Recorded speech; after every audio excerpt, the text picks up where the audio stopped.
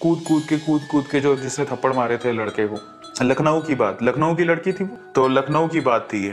तो आप लोग बताओ, देखो, लड़का लड़की कोई फ़र्क नहीं पड़ता। अगर कोई और भी होता उसकी जगह पे जेंडर डजेंट मैटर जो गलत है वो गलत है, उस लड़की ने वाकई में गलत किया। पूरी वीडियो आप ध्यान से, मैंने भी देखी, मैंने कहा, ये क्या हो रहा है? शुरू में तो ऐसा लगा कि वो लड़की कितनी यू नो ऐसे है, वैसे है, उसने डर नहीं लगा उसको, उसने मारा।